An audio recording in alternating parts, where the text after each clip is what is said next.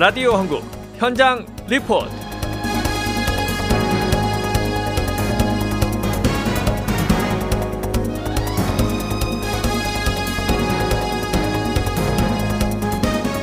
어제 저녁 지난 1972년 설립 후 워싱턴주 한인사회의 상징적 모델이 되어온 대한부인회 2018 신임 이사장단 취임식이 열렸습니다.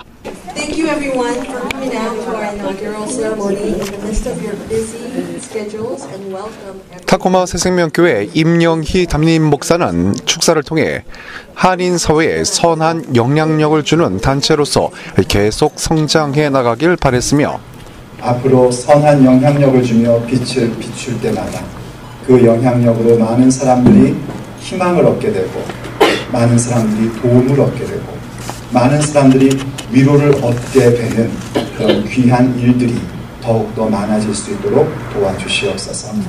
많은 여성들이 함께 힘을 합할 수 있도록 도와주시고 사회 각계 각층이 관심을 갖고 서포트해주는 그런 역사도 함께 일어날 수 있도록 도와주시옵소서. 또 한 해 동안 이 모든 일들을 이끌어갈 임원진들을 예수님의 이름으로 축복합니다. 작년 한 해 임기를 마치고 이임하는 박보경 씨는 지난 1년간 회원들과 한인 사회 관심과 격려 속에 무사히 임기를 마칠 수 있었다며 감사의 말을 전했습니다. 안녕하세요. 전임 이사장 박보경입니다. 제가 이사장직을 통해 어, 대한부인회 준 시간보다 더 많은 것을 배우고 또 깨닫고 더 많이 성장해가는 시간들이었습니다. 하지만 음, 제가 어, 했던 일은 뭐 만, 어, 크게 표시나는 건 없지만 아, 그래도 나름대로 시간 쪼개서 열심히 봉사했다고 봤는데 아, 올해는 주류사회 정치인 그 커뮤니티 리더 아, 동포사회 리더들 한 600명 이상 모시고 아, 45주년 행사를 성황리에 치렀거든요. 그래서 주, 주류사회에 대한 부인을 알리는데 큰 성과를 거뒀습니다.임 이사장님에게 부탁드리는 거는 아, 첫 번째 순서가 아, 사무총장 이발리에이션을 꼭 해야 되고 그분의 아, 업적이나 그런 거를 좀 이사장으로서는 꼭 해야 될 일이거든요. 그래서 아쉽게도 그거는 제가 아, 후임자에게 넘겨야 될 것 같습니다.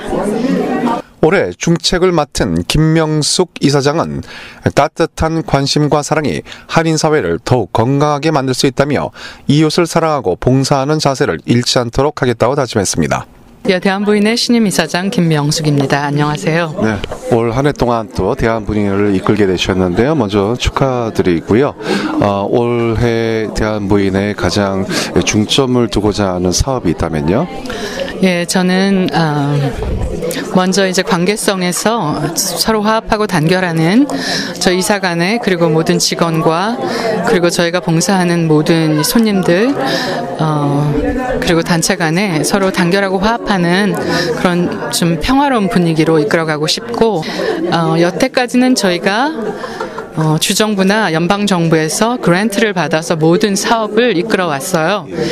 그런데 제가 바라는 것은 이제 저희 1세대들이 어, 정말 열심히 달려오셨고 이제 어느 정도 자산들을 가지고 계시고 음, 그리고 이제 리타이먼을 바라보시는 이제 은퇴를 계획하고 바라보시는 그런 시점에 와 계신 것 같은데 정말 의미 있는 그런 종결점에 도달하기 위해서는 우리 한인 사회가 다 함께 참여해서 할 수 있는 어떤 수건 사업을 시도해 보면 좋을 것 같다는 한 워싱턴주 한인 사회에서 아주 건실한 봉사 기관으로 자리를 매김하셨는데요.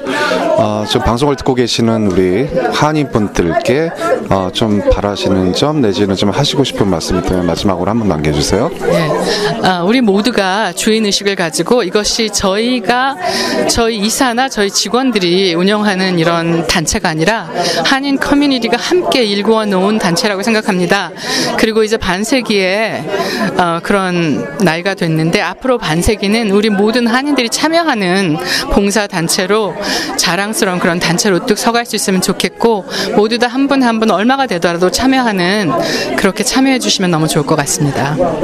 김경숙 신임 봉사위원장은 올 한해 대한부인회 수건 사업이었던 평생교육원을 더욱 활성화시켜 다양한 강좌를 통해 한인 사회에 활력을 불어넣겠다고 했습니다. 네, 올해는 한인 커뮤니티에 봉사를 해라 해갖고 한인 커뮤니티 봉사위원장을 맡았어요.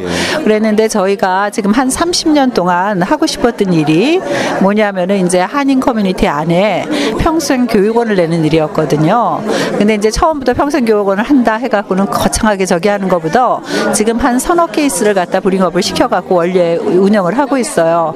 그 중에 하나가 이제 그 요리 강좌를 갖다가 이 재능 있는 커뮤니티 에 그 재능 있는 분들이 재능 기부를 해갖고 이제 그 원래 우리 그 점심을 또- 저녁을 먹고 이래야 되잖아요. 그거를 요리를 다 해서 요리 강좌를 하면서 또 우리가 다 시식할 수 있는 기회를 만들어주고 이러거든요. 사진반 이제 전문 강사인 정상원 씨가 involve돼 갖고 하실 거고 그 다음에 이제 기체조 한방체조라 그래갖고 소림사에서 한 13년 동안 수련하시고 이런 분인데 너무 재밌고 너무 잘하세요. 한의사 분인데 이제 리타이어 하시고 이제는 재능 기부를 하겠다 해갖고 나오시는 분이에요.